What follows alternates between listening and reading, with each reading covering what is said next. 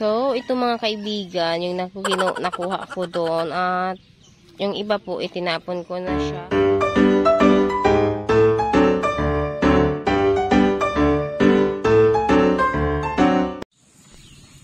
Hello guys! Magandang magandang buhay po sa ating lahat. Saan man sulok ng mundo, magandang buhay, magandang araw. Ayan po. Uh, nagbabalik po ang, ito po ang aking YouTube channel, ang Provincianong Pango po.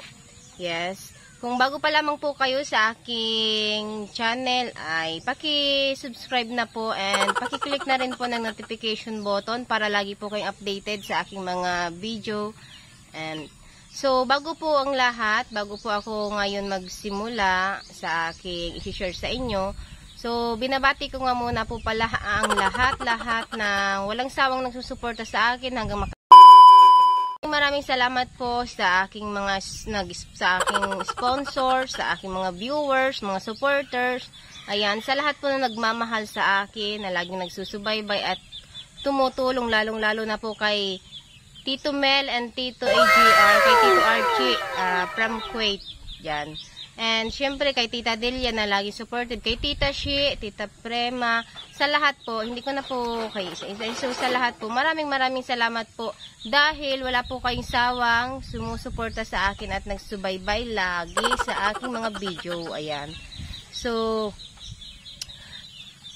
taos puso po ako nagpapasalamat sa inyo. At ngayon nga, mga kaibigan, ang ating gagawin ngayon ay pupunta tayo dun sa aking mga pananim, dun sa talong sa talungan po. At ituturo ko po sa inyo, i-share ko po sa inyo kung paano po mag-alis ng makikita natin ang uhod sa mga pananim natin, sa tanim natin na talong, sa katawan ng talong, yung uhod. Nasa katawan po siya. Hindi po yung ano yung mga kus na pag sinabing uhod eh nasa labas po, nasa dahon. Yun pong ipapakita ko sa inyo, tuturo ko po sa inyo kung paano mag-alis po ng uod ng talong. Ayan po. So, ngayon guys, samahan niyo po ako at tara po. Samahan niyo po ako mga kaibigan. And hanggang sa matapos po itong video ito ay sana po ay samahan niyo po ako at nang makita niyo po ang full video nito and tuturo ko po sa inyo kung paano po magalis ng uod. So, ayan mga kaibigan. Tara po.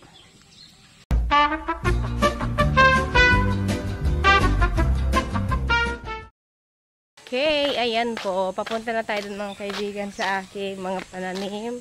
Pakita ko po sa inyo aming talong ngayon. And update na rin po kung gaano na po siya kalalaki at kung may bubunga na po. So, andito po siya sa likod ng bahay nila mama. Nag-jacket ako and nag-sombrero kasi po sobrang init. So, ito ay mga sili. Hindi pa rin siya na ano, nag-harvest po ako nung nakaraan Ayan, nag-harvest po ako niya nung nakaraan. Yan, ito yung bagong lipat. Yan yung bagong lipat. Yan. Dalawang talay. Ayan po, ito na po ang aki, ang aming talong na talong. Ay, talong na talong. ang aming tanim na talong. So, ayan po. Nagbubulaklak na siya. O, ayan. May bulaklak na. Wow. May bulaklak na. At ito nga yung i-share ko sa inyo ito po. Nakita nyo may, ang, sa tanim yung talong ito may ganito may loyos. Yan. Ibig sabihin pag ganito may loyos, dito, dito natin makikita yung uod niya dito sa katawan, dito sa ilalim. So ito titingnan natin kung may uhod siya dito. Sayang, may bulaklak pa naman. Loyos talaga siya. Kailangan natin ito putulin. Ayan, pinuputol ito. Matigas ah. Dapat pala may gunting.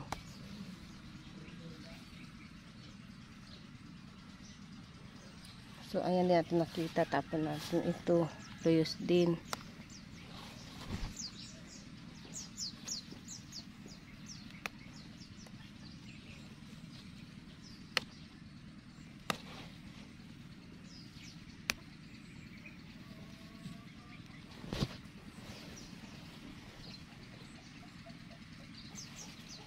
Ang daming loyos ng ating dulo ng talong. Ayan, ito, ay ito may uhod.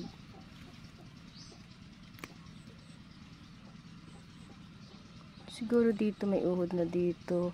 Ayan yung brown brown na yan. Ay, di makita. Asan na siya? Ayan, ito. Yung may brown brown na yan. Ayan, yung mga uhod niya. Maliliit. O, ayan o, yun. Basta may brown. Ayan.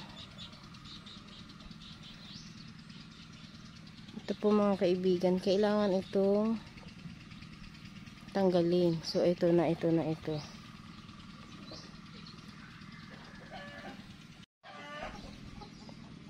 So, ito po mga kaibigan, ayan o. Oh. Yung uod niya, nasa ganito po, nasa katawan yung uod niya sa gantong dulo. Ito po kapag gantong mga loyos na siya, inaalis na po itong mga dulong ito kasi nadami rin siya nakahawa. So, ito meron din.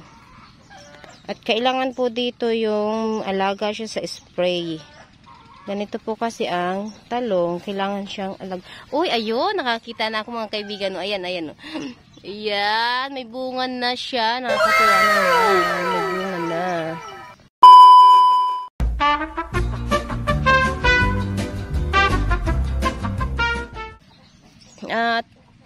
dahil nga busy nga po mga kaibigan, di ako nakakapag ano ulit dito.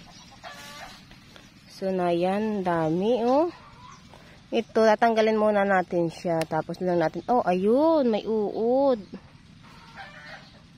So ito po, ayan, ito yung sinasabi ko po sa inyo na uod dito sa katawan, ayan.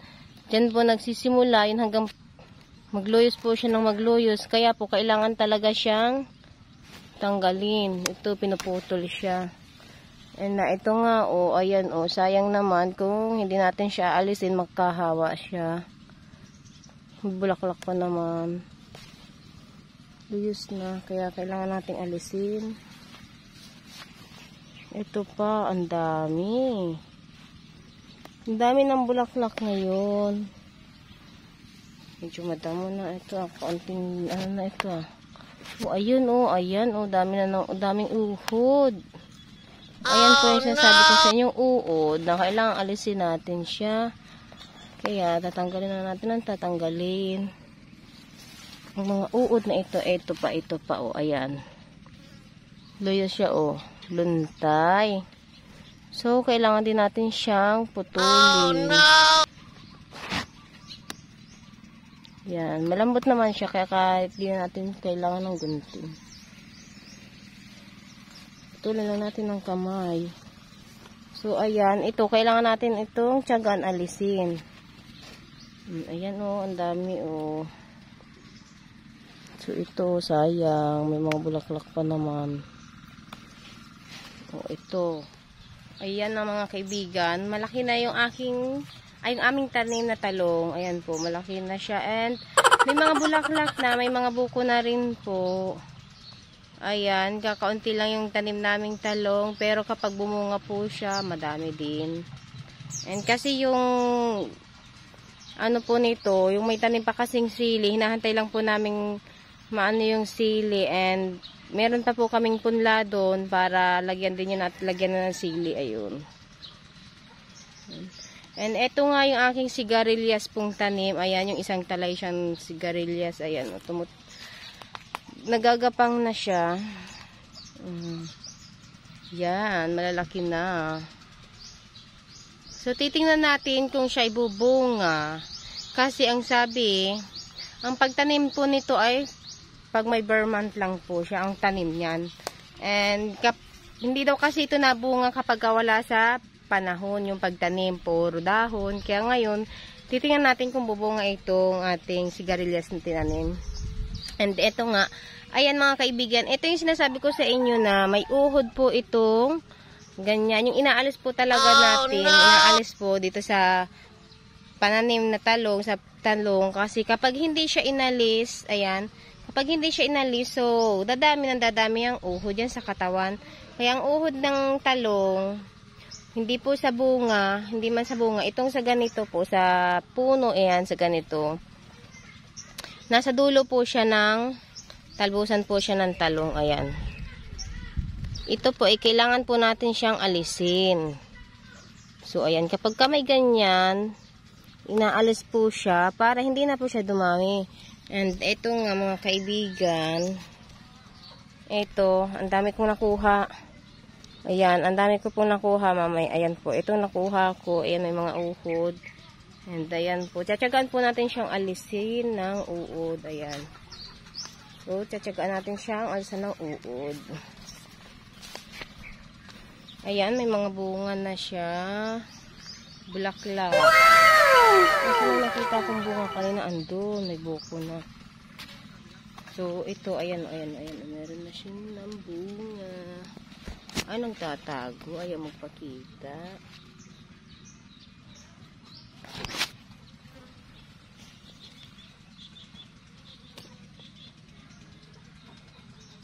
So, ayan, may mga buko na. Ayan ang mga kaibigan. Buko na siya. At ipapakita ko sa inyo itong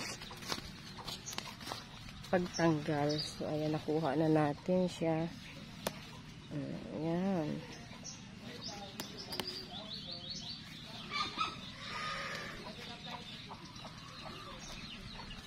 Ayan, tingnan nyo po ito. Papakita ko po sa inyo yung uod po dito sa ano. Dito sa dulo, sa talbos. A few moments later.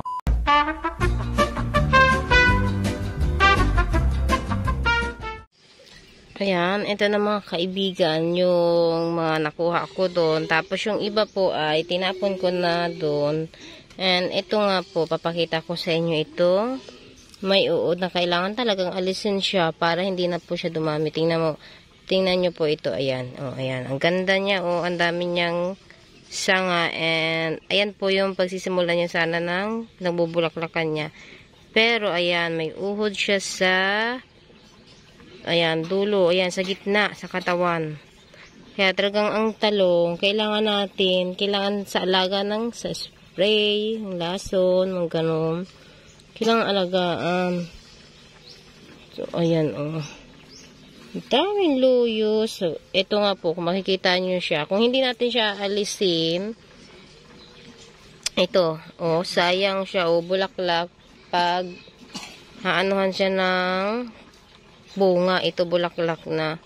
Kaya kailangan alisin natin itong mga dulo, yung mga, kapag may makita po tayo na mga nagluluyos ng ganito, so kailangan nating alisin. Kasi andyan po yung uhod. Andyan yung uhod. Ayan, yung iba na wala na po. Natanggal na. Tapos, tinatapon din siya sa malayo para hindi na rin na makiyat dun ang uod sa katawan do sa mga tanim. So, kaya ayan po mga kaibigan, kailangan talaga nating alisin. Oh, ayan, ito, ito, ito, ito. So, ito, ayan, may uod din siya, o oh, kulay brown. Nasa gitna. Ayan, ayun po, ayun, ayun, ayan. Yun, may uod. Hmm. Di ba may butas? Kaya siya nagiging ano dahil dito sa mga uhod na ito. Hmm.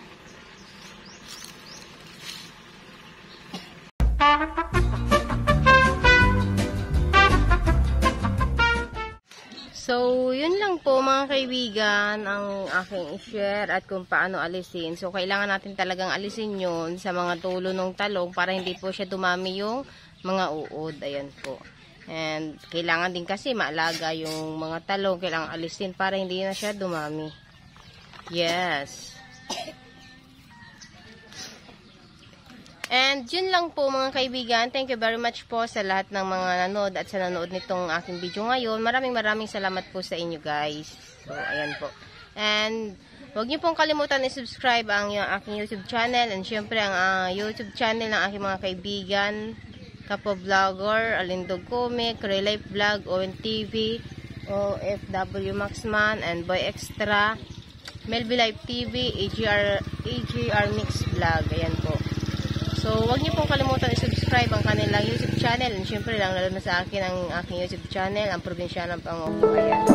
Thank you very much po and bye-bye po. God bless.